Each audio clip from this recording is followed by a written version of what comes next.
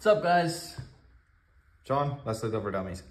so, I get a lot of questions about uh, building these markers with uh, external tanks or dual CO2 uh, setups or even just a single CO2 setup. And a lot of the questions are, give me the part numbers or the parts list and, and what have you. And, and, and I do like to help you guys the most I can. But I thought I'd make a video to kind of show you the thought process that goes into this and why it's not just cut and dry. There, there's a lot of variables based on what shows up at your door and to try and call out parts. Um, and then I don't want to feel like I'm responsible for sending you in the wrong direction. Uh, so I thought it'd just be easier to kind of tell you what I go through when I am building something sort of like this. First things first is the look you're going for, obviously. So uh, in this case, I wanted it to keep it all nice and compact. Uh, I wanted to have the tank, we're gonna call it a tank for all intents and purposes, uh, mounted within the marker itself. Uh, next decision is, do you want it on a horizontal plane with the marker? Do you want it on an offset plane? So down the side or down this side. Um, based on those uh, decisions, that will decide what kind of mount you're gonna use. So in this case, I went with the, along the plane of the marker. Um, these are one, sorry, these are 30 millimeter scope mounts that have a little rubber insert to size them down to one inch, which is the size of this particular tube. So that would be your next sort of question to ask yourself. Are you putting a tank on here or are you putting one of these CO2 tubes? The neck of a tank, sort of like, so an on-off like this, the OD, outside diameter, is an inch in most cases and variations do occur. And until you have your on-off or you've decided on how, which on-off you're going to use, it's gonna change what type of mount you purchase. So in this case, 30 millimeter scope mount with, uh, has these rubber reducer rings down to one inch. And I wanted to put it on the plane of the marker, but I want to still have a room for a red dot. So I looked for one that had a, um, a Picatinny mount on top.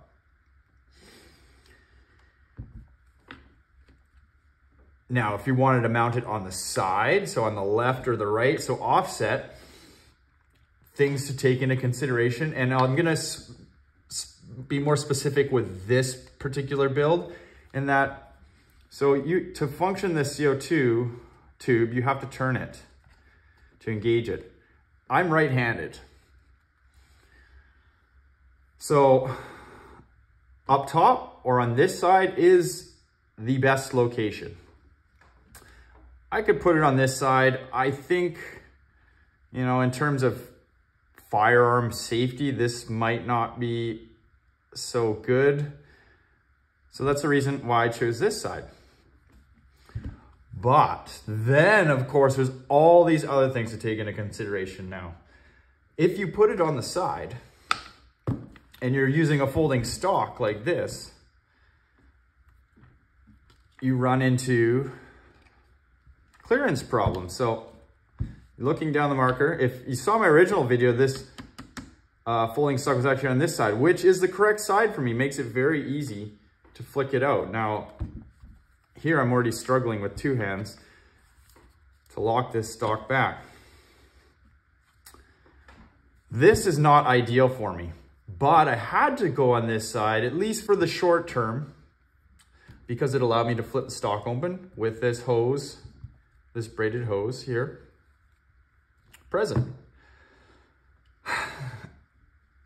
And, and I'm not done yet. I mean, I, I don't like this.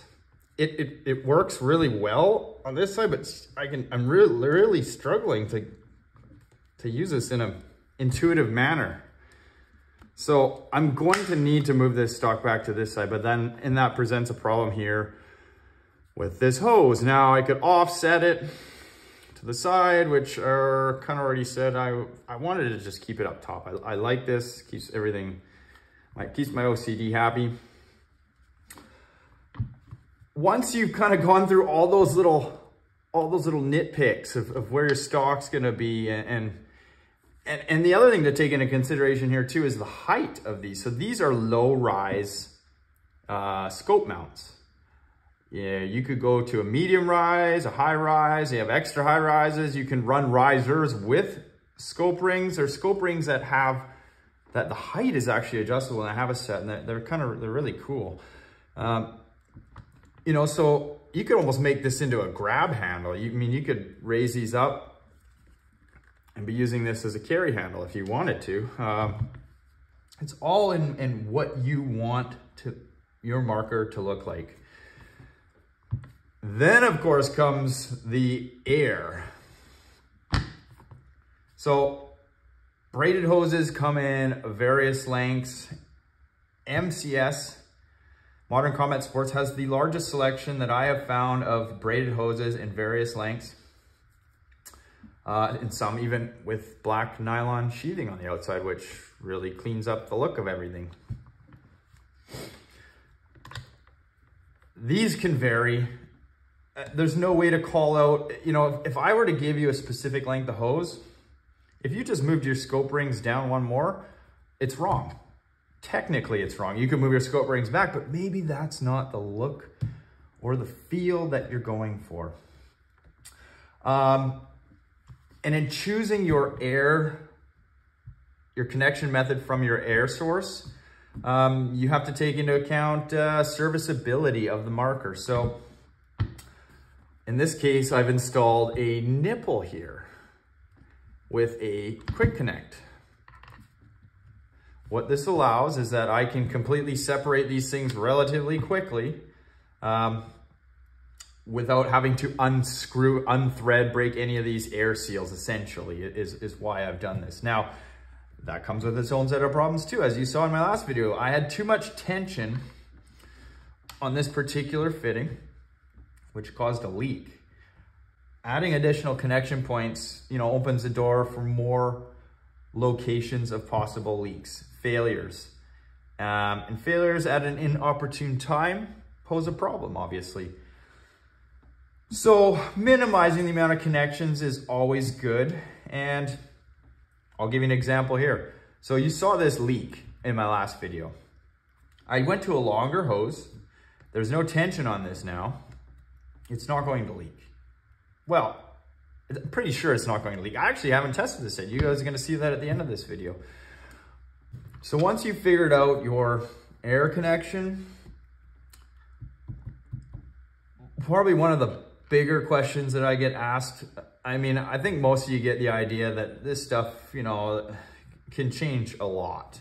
Um, but it's the connection to your bottle or your ASA thread. Um, this is an adapter that I got from AliExpress. It's for a Condor PCP air rifle. Um, I will put the link in this video.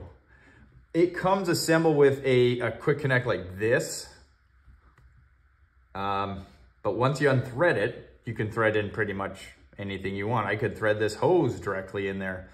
Um, and I may just do that because something with the TIPX is, well, to do a full assembly, again, something you just need to kind of look forward in your steps. And, and they don't all come at once. I mean, you're going to stumble a little bit, trust me. Um, to disassemble a TIPX properly, if you have a remote air setup, is you have to unthread this.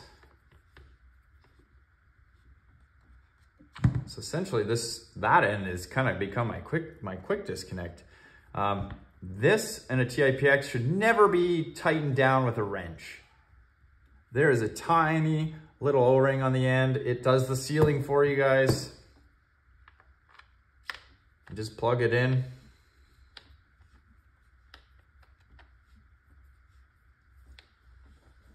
And that's it. Hand tight. That has never leaked. That's as tight as I've ever put, put this that particular uh, remote air fitting.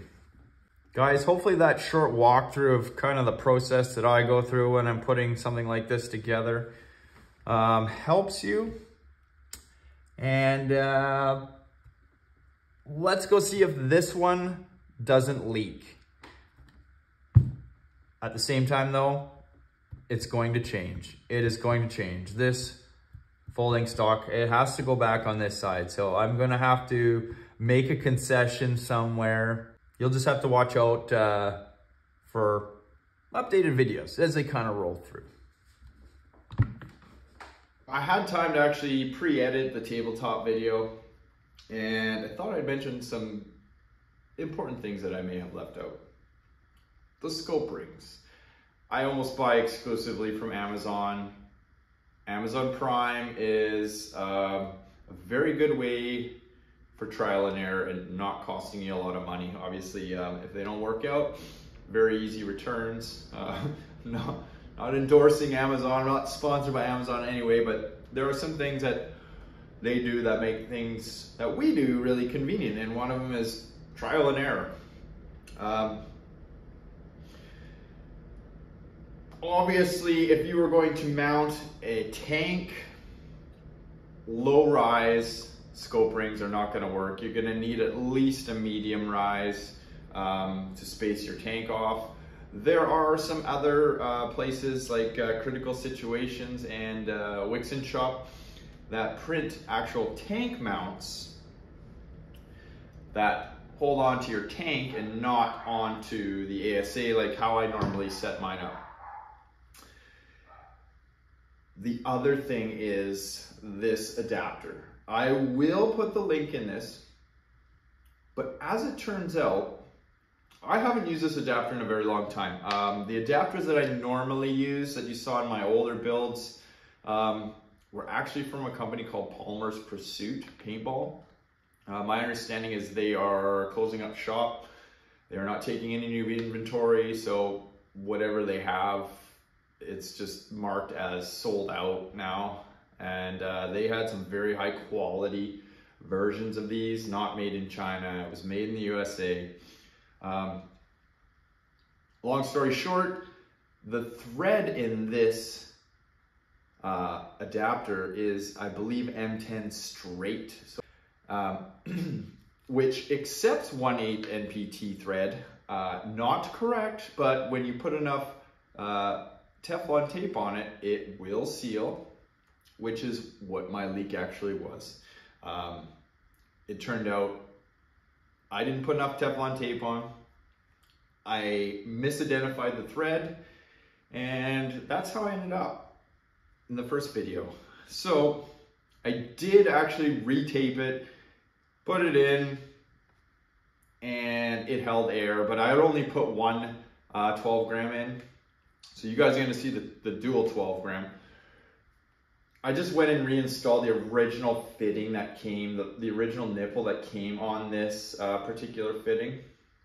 And uh, well, we're gonna find out if it worked. And I'm sure it's going to. It has a different kind of seal. It has a sealing washer here with, a, with an O-ring.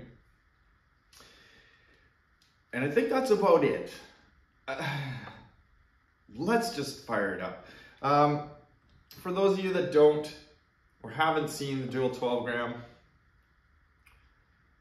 neck first for the first CO2, neck up for the second. You thread your cap on completely.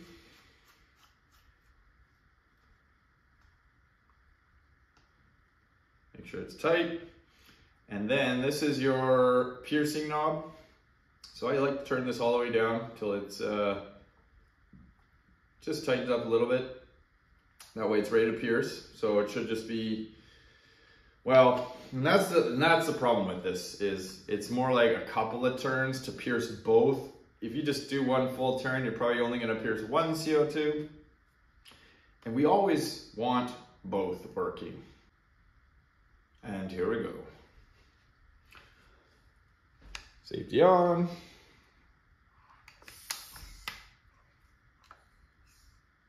Oh, so that was like more like three turns. I, I actually heard the second CO2 pierce there.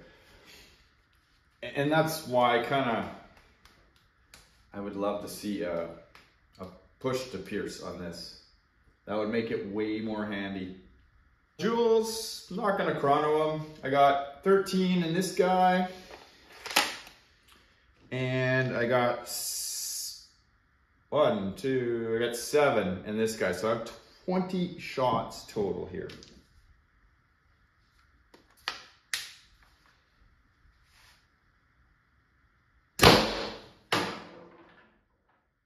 Ah, I really want to chrono it. This has, I've reinstalled, this is unbypassed now, but it is a max rig.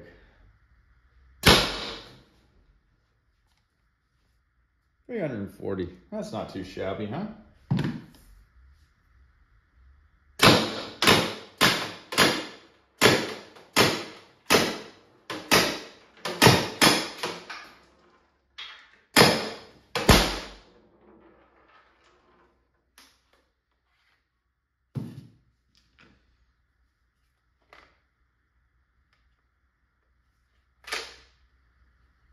Let's try it with the buttstock and you'll see how kind of bubbly it is for me. I don't know why. It's so hard. Like I really, I literally need two hands to get this butter.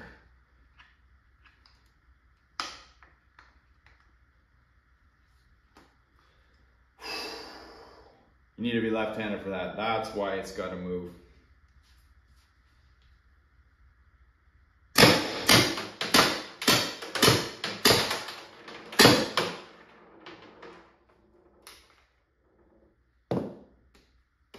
That was 20. That wasn't too bad. 12 more. Well, actually, that was 22 because of the two blanks. That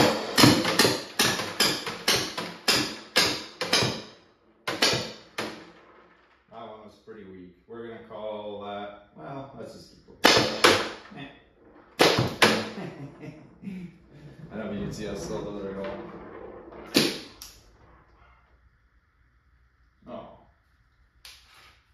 Well, it did fire all 12.